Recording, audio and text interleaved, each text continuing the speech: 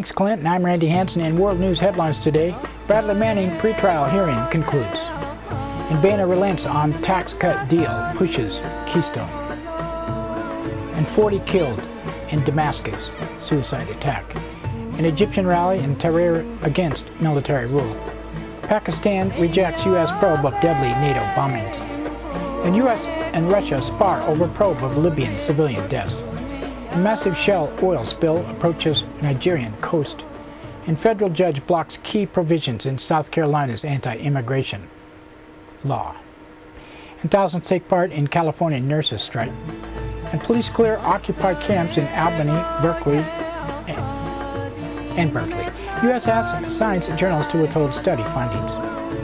But before these stories, GVTV News would like to thank one of our underwriters who supports your only visual video news media in Nevada County. That's right, it's us, GVTV News.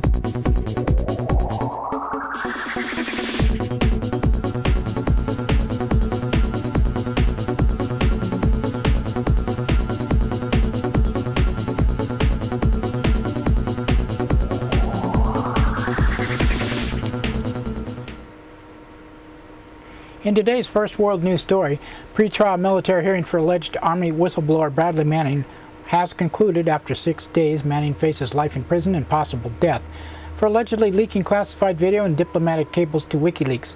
In closing arguments, the defense said the government had failed to properly address Manning's emotional state, while the prosecution argued the WikiLeaks disclosures had helped al-Qaeda presiding officer will now have at least three weeks to decide whether Manning is to stand trial and House Republicans have backed down on their opposition to a bipartisan Senate measure to extend the payroll tax cut set to expire at the year's end. On Thursday, House Speaker John Boehner relented following growing criticism from within his own party. Announcing a deal with Senate Democrats, Boehner said a full-year payroll tax cut will be negotiated through conference committee.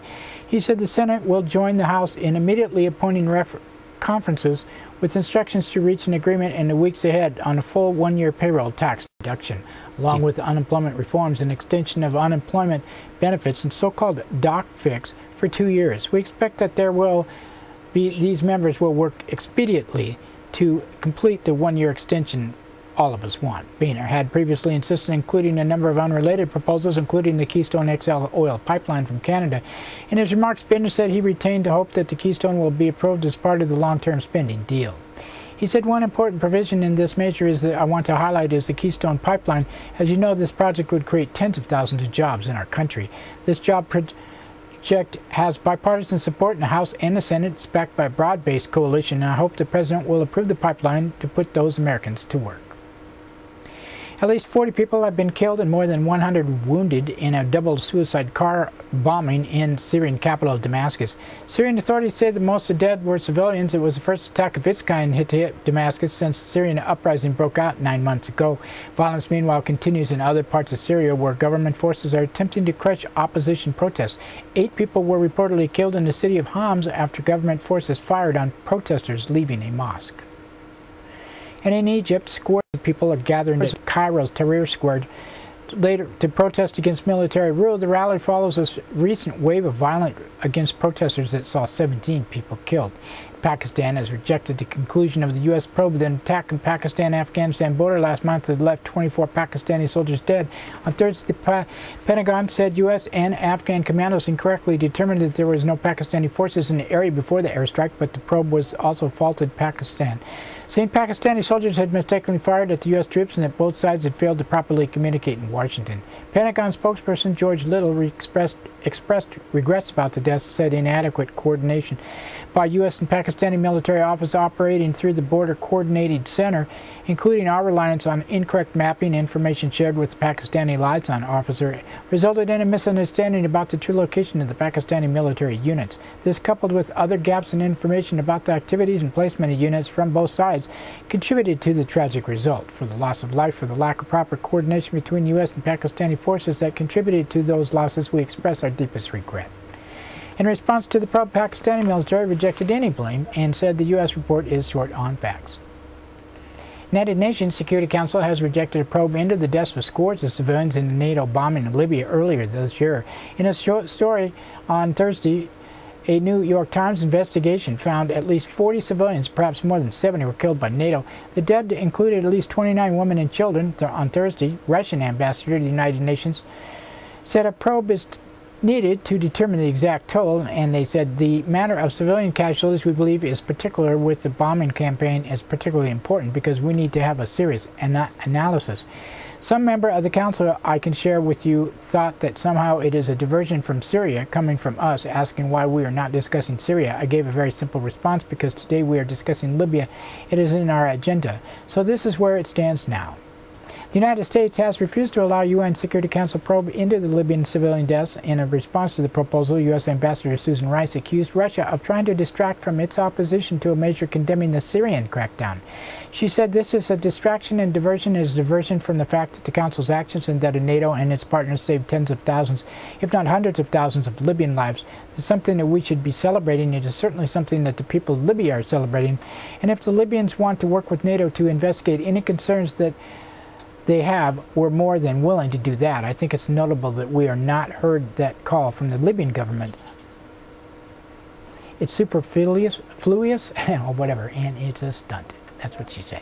Communities along the Nigerian Niger Delta have put uh, up an alert following a major oil spill on oil giant Shell. Satellite image indicates spill spread 356 square miles. A massive oil slick is making its way to the Nigerian coast to threaten local wildlife and massive pollution along the shores. Shell says that 40,000 barrels leaked so far, but Nigeria National Oil Spill Detection and Response Agency says spill could be three times as large. Spill comes four months after the United Nations said it would take 30 years and around 1 billion in small section of Delta to recover the environmental damage caused by Shell and other companies. A federal judge has blocked several key measures in South Carolina's anti-immigration law, the latest in a series of judgments against similar measures nationwide. On Thursday, U.S. District Judge Richard Gergel froze a number of provisions he said would breach the federal government's sole authority to oversee immigration enforcement. The measure included rules forcing police officers to check immigration status of individuals if the officer was reasonably suspicious, but they were undocumented. Justice Department coalition civil rights groups had sued to prevent the law from taking effect next month.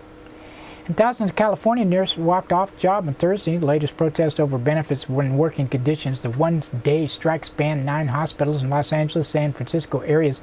DeAnn McEwen of the National Nursing United Executive Council spoke outside Memorial Hospital in Long Beach and said, we're out here because the hospitals refused to put a safe staffing language in the contract, number one. Number two, the health care takeaways they got on the table. They want us to pay more money for health care.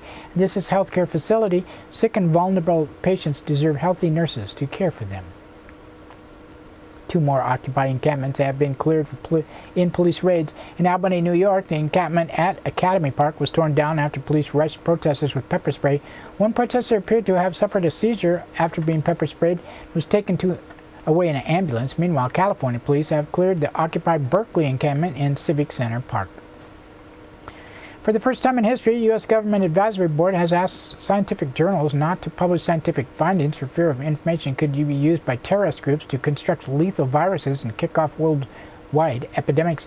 National Science Advisory Board for Biosecurity, overseen by the National Institute of Health, has asked the Nature and Science to leave out the details of the study conducted by the Netherlands and the United States. The study led to the creation of a highly transmissible form of deadly flu virus called the H5N1. It is exceptionally deadly. Scientists have worried that if the virus did develop the capacity to either pass from person to person or could lead to a more catastrophic pandemics ever, one of the worst. But omit certain details that, that would allow that so that it couldn't be recreated.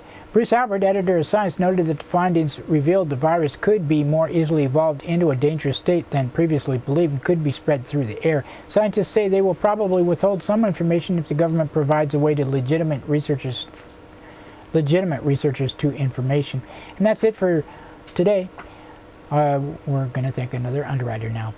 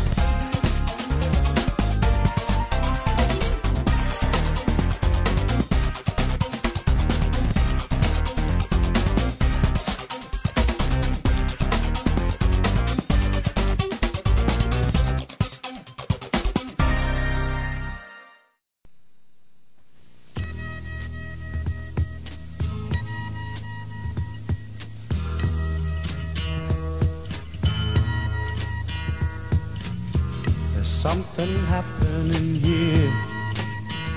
But what it is ain't exactly clear.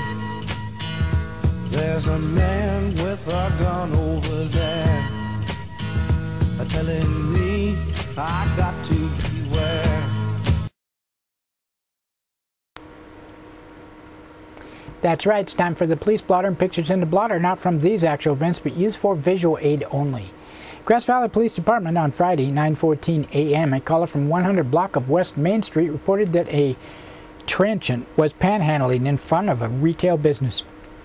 9:21 a.m., a caller from 200 block of South Auburn Street reported a blue mountain bike was left at the Veterans Hall for several days. 3:18 p.m., a caller from 700 block of Taylorville Road reported a man selling movies from the back of a van was intimidating people. At 6.10 p.m., a caller from 100 block of East Main Street reported two females ate a meal in a restaurant and left without paying. At 9.40 p.m., a caller from 300 block of Railroad Avenue reported that he lost keys while playing golf and could not access his house or vehicle. 11.45 p.m., a caller from 200 block of Fairmont Drive reported a man was looking into various neighborhood cars. Saturday, 10.09 a.m., a caller from 200 block of Sutton Way reported a person shooting birds in a wooded area near residence. 11:19 a.m. A caller from southbound ramp of Highway 49 onto McKnight Way reported a man patrolling the ramp in hopes of locating the Central Intelligence Agency. 12.51 p.m., a caller from 600 block of Freeman Lane reported a man and a woman shoplifted an entire cartload of items from a business. And 2.39 p.m., a caller from 1500 block of Mulberry Drive reported that oh, she was a victim of a telephone fraud and was out $3,700. 2.47 p.m., a caller from 300 block of Sutton Way reported someone stole his mason jar last week. At 8.47 p.m., he called back to tell officers that if he was killed, that he would like to leave all his property to his daughter. 8.31 p.m., a caller from 300 block of Pleasant Road reported that people have been taking items from her neighbor's house while they were out of town. At 11.52 p.m., a caller from 100 block of Maryland Drive reported a man was yelling obscenities while threatening to kill him. And Sunday, 2.37 a.m., a caller from 1900 block of Nevada City Highway reported that all his friends are against him. Nevada County Sheriff's Office on Friday, 8.30 a.m. A caller from 18,000 block of Jayhawk Drive reported an instance of credit card fraud. and 9.04 a.m., a caller from 10,000 block of Allison Ranch Road reported an extremely intoxicated person with a black eye was engaged in a verbal altercation with someone in the residence. At 9.09 a.m., a caller from 12,000 block of Banner Lava Cap Road reported receiving a strange call from someone claiming they were ill. Returned phone calls went unanswered. At 10.49 a.m., a caller from 10,000 block of Tola Ridge Court reported an instance of bank fraud. At 1.39 p.m., a caller from 18,000 block of Refuge Road reported that the mother and his son had not contacted him in a month and he believes them to be absconded to Oklahoma. 3.18 p.m., a caller from 14,000 block of Rough and Ready Highway reported a person made illegal contact with her over the internet and proceeded to harass her. And 4.11 p.m., a caller from 17,000 block of Grace Court asked officers to conduct a welfare check on her son who is having severe withdrawal symptoms after stopping alcohol and drugs. At 7.09 p.m., a caller from the intersection of Buckeye Road and Red Dog Road reported there multiple vehicles were driving too fast in the area and believes the owner of the vehicle was involved in a marijuana grow operation. 9.30 p.m., an intoxicated caller from Grass Valley requested officers provide her and her son with a housing that she had lost her keys and got locked out of her apartment by her roommate. 11.05 p.m., a caller from 18,000 block of Black Hawk Court reported that she was choked by a member of her family. 11.06 p.m., a caller from 10,000 block of Tasha Road reported that her son was threatening her and her daughter with a knife.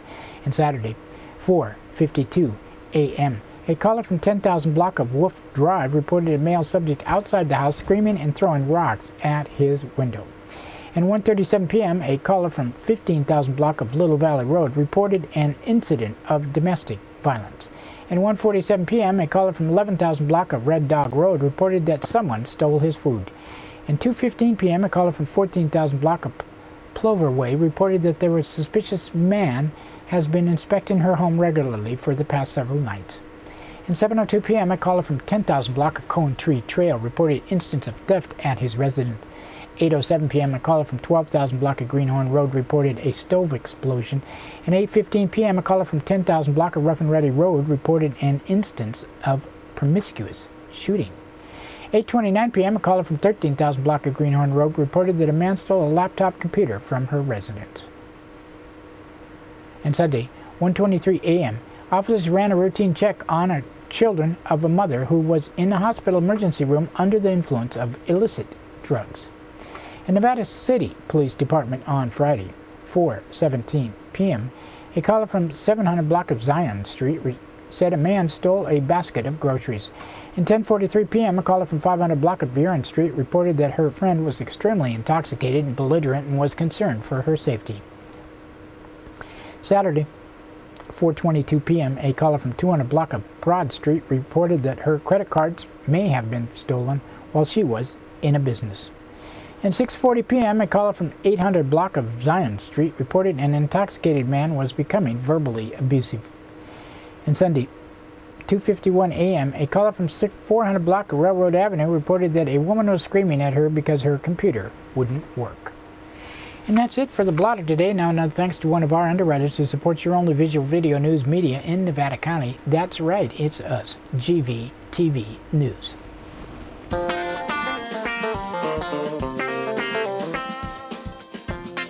Soundcheck Music Center, the rock and roll connection. We have guitars, amps, drum equipment, sound accessories, lessons, and repairs. We are located at 671 Maltman Drive, Grass Valley. 530 272 7236, open seven days a week.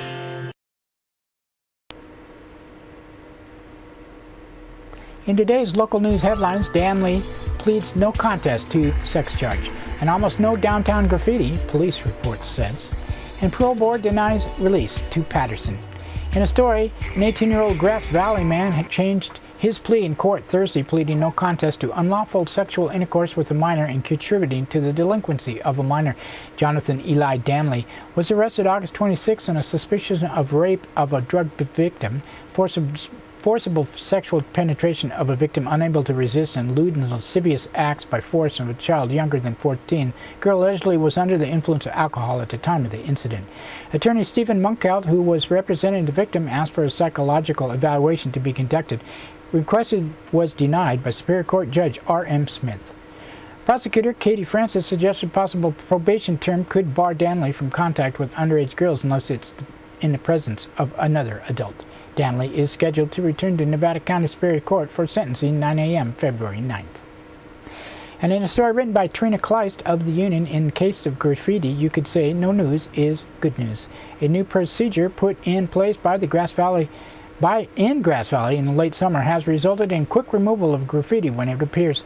Members of the city police department are working more closely with private property owners to remove the eyesores on their land and with public works to remove marks left on city property, said police officer Jim Amaral, the point man for the city's anti-graffiti effort. But after a rash of disturbed scrawls on private and public walls in downtown Grass Valley in August, just a handful of incidents have occurred in the past three months. At United Methodist Church in South Church Street, grounds administrator Charlie Luckenbill makes the rounds every morning during the week, work week to check for graffiti and other vandalism. The Methodist property and the Unitarian Universalist Church next door have been frequent targets during that earlier rash. Luckenbill tries to paint over graffiti as soon as he finds it, he said. Maybe that's what's keeping them away, he added.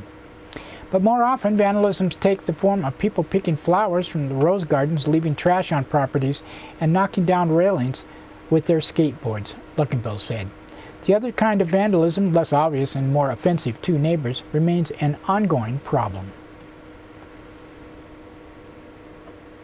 The Nevada County District Attorney's Office announced that Mitchell Patterson has been denied parole. On March 31, 1993, Patterson took his 10-year-old daughter, Adriana, for a lengthy meandering drive in his pickup that started in Willits, continued to the Golden Gate Bridge, and ended up on Highway 80 in the Sierra Nevada. They ran out of gas on Donner Summit after declining assistance from the Highway Patrol and other passing motorists. Patterson grabbed his daughter and pushed her in the path of a big rig truck, killing her instantly. First, Patterson stated that it was an accident. Later, he indicated he believed that bad people were after them and wanted to cause them a slow, cruel death. While Patterson clearly suffered from a history of mental illness, he was not considered legally insane at the trial. Following jury trial, Patterson was sentenced to 25 years to life. The case was later retried due to an error in the jury instructions. Patterson was resentenced to 15 years to life. On Tuesday, the parole board considered Patterson's case for eligibility for parole.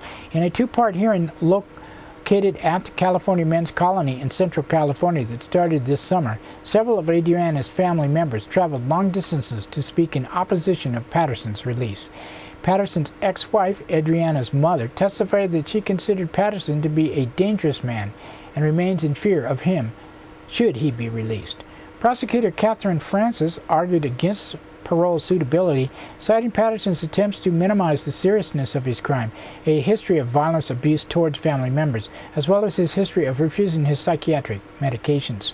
Patterson's defense attorney argued that the inmate was ch has changed his tone, has accepted responsibility for Adriana's death, and has stayed conflict-free for the past five years. Following testimony and argument, Commissioner Ferguson denied parole, stating that Patterson posed an unreasonable danger to public safety and extended Patterson's commitment for an additional five years before he may again be considered.